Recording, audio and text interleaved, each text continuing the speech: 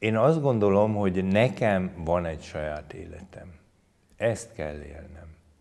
És nem a gyerekem helyett kell élnem, és ne a gyerekem írja elő, hogy én mit élek. Én már mint nagyapa pozícióba beszélek, tehát ez ezért egy so, még sokkal árnyaltabb a hozzáállásom, mert a világ a 25 év alatt is óriásit változott.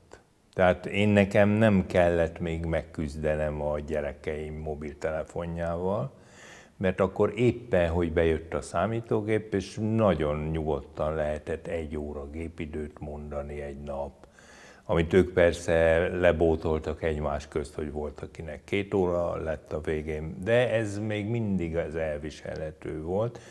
És emellett modellvasutaztak, babaszobáztak, és nagyon sok mindent csináltak, tehát foglalkoztak dolgokkal, építettek.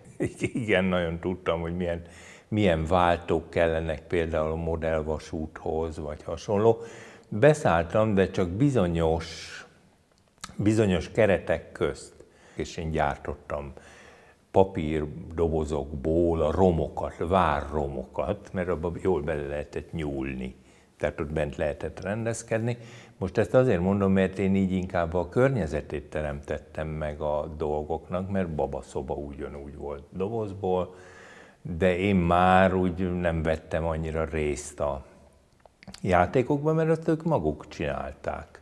Meg én, én mindig akkor mondtam, na de hát nem, ez nem lehet, hogy a, a Ferdinánd legyőzi a túri, tehát ez világon nem volt olyan. És akkor rájöttem, hogy én most itt bezavarok a tényszerűségekkel az ő kis világába. Tehát így nagyon finoman, nem jó kedvel, de ki kellett vonjam magamat innen. És rájöttem, hogy persze, mert ez nem a Túri György és nem a Ferdinánd király, hanem két kis figura, aki így győz, meg úgy győz, és nem mindig a Túri György fog nyerni. Tehát én hagy, hagytam életteret a gyerekeknek, legfőjebb ebbe tereltem őket, hogy milyen kereteket adtam meg. A legnagyobb játékunk az volt, amikor nekik volt egy ilyen kisebb méretű laticel, matrac, és én bementem a gyerekszobába, és ráfeküdtem a szoba közepén arra a laticára. És akkor ő nekik az volt a boldog feladatuk, hogy engem lehengerítsenek onnan, hogy jöjjek játszani, de hát én nagyon fáradt voltam, és akkor hagytam magam, hogy onnan le, leszedjenek, de aztán gyorsan visszamásztam rá, és ettől annyit hancúroztunk, hogy hihetetlen. De ez egy érdekes módon egy ilyen perifériája volt a játéknak, de nagyon élvezetes volt ez a kis laticel játékunk. Tehát, hogy a, azt hiszem az elérhetőség az sokat számít.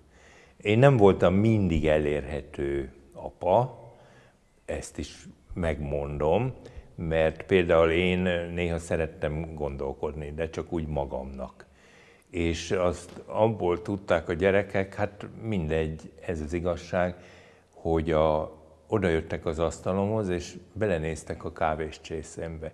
És amíg volt a kávéscsészémbe, addig tudták, hogy hagyni kell a papát, mert a papa most gondolkozik.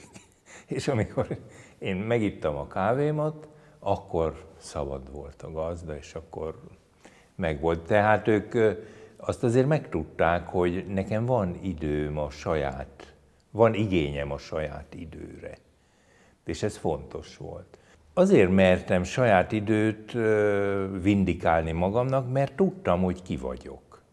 Tudtam, hogy nekem erre jogom van, szükségem van, és akkor leszek én jó ember a következő néhány fél órába, hogyha most hagynak engem magam szerint egy kicsit jó fejnek lenni. Azért fontos, mert belül van-e a súlypontja az embernek? Nekem. Ha belül van a súlypontom, kimerem jelölni a határaimat, és ki is tudom jelölni. És nem arról van szó, hogy engem lehet rágni, húzni, vonni, mert ugye akkor tönkre megy a szülő, vagy ideges lesz, mert csak szüksége lesz arra a saját időre, de ezt, ezt aztán hirtelen, és amikor már nem bírja, akkor jelöli ki. Holott ott van az a nagyon komoly mondás, hogy a gyerekeink életét az életemmel táplálom, tehát megesznek bennünket. Na de az étlapot én írom, a szülő írja.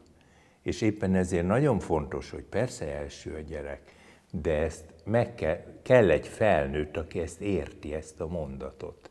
És egy olyan felnőtt tudja érteni ezt a mondatot, akinek belül van a súlypontja, és körülbelül tudja, hogy mit akar. És tudja azt, hogy például egy gyereknevelés, hát az nem egy szórakozás, nem egy önmegvalósítás, bár rengeteget tanul egy szülő a gyerekéből, de, de nem a gyerek a vég cél, a gyerek az mellettem fölnő, és ő neki van egy saját világa, egy nagyon jó világa, autonóm lényé fog válni, de egy jó darabig, mint a puskacsőbe a lövedék egy darabig nagyon is korlátozott pályán fut, hogy később eljusson a célba. Tehát ez meg kell legyen a gyerekeknek, és hogyha egy szülő nem meri ezt megcsinálni, nem tudja megcsinálni, akkor az valószínű a saját felelőssége elől menekül. A szülőnek van egy saját fazonja, és ott kell elhelyezkedjen.